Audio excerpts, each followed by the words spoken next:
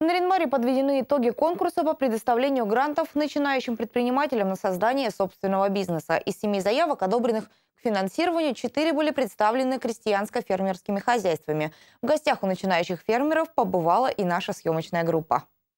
Анжелика Дементьева, одна из победителей конкурса грантов, несколько лет занимается разведением перепелов. Сначала это было личное подсобное хозяйство, но когда спрос начал расти, увлечение переросло в бизнес. На сегодняшний день спрос он превышает предложение, поэтому мы хотим как минимум в два раза увеличить поголовье.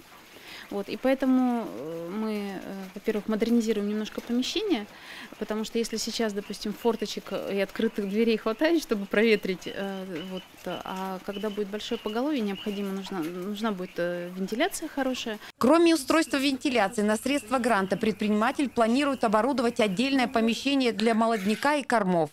Сейчас в хозяйстве Дементьевых 350 несушек. В день они несут до 250 яиц. Особая гордость – размер перепелиного яйца.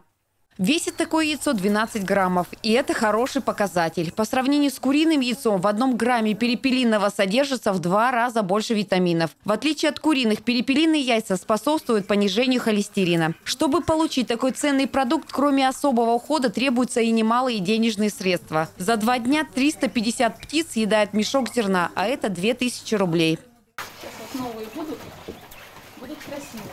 Цыплятки, сейчас их можно подснимать маленькие. Они, правда, сегодня уже такие оперяться начали, а вчера-то они еще желтенькие были, они же растут очень быстро. У нас бывают месяцы, когда мы уходим в такой минус, допустим, когда мы в начале месяца платим 40 тысяч за корм, потом в конце месяца 40 тысяч за доставку корма, а доходы от яйца, допустим, там 17-18, ну 20 тысяч максимум, да.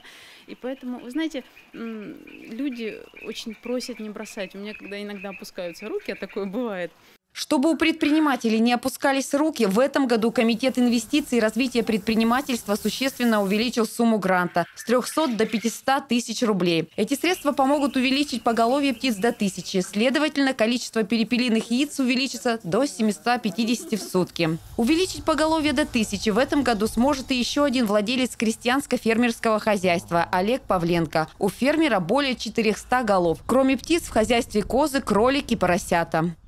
Ты не бодаешься?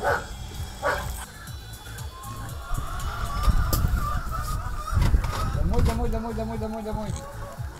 Домой, домой, домой, домой, домой, домой. Молодец. Дружелюбному козлику Кубику и свинке Нюше, как и ее соседям, очень тесно в небольших загонах. А сейчас с наступлением осени еще и очень холодно. В первую очередь мы хотим часть э, небольшую потратить на постройку вот второго здания. Ну и то уже так думаю, может одно большое сделаем, посмотрим. То есть нам нужно побыстрее сделать, чтобы, ну, как говорится, до снега. Потому что уже, ну, реально так прохладно. Мы печку добавили, уже внутри там тоже подтапливаем.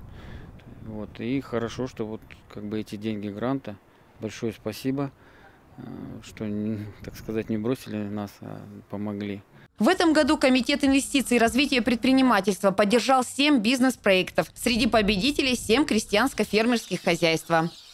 Любовь Пермякова, Вадим Стасюк, телеканал «Север».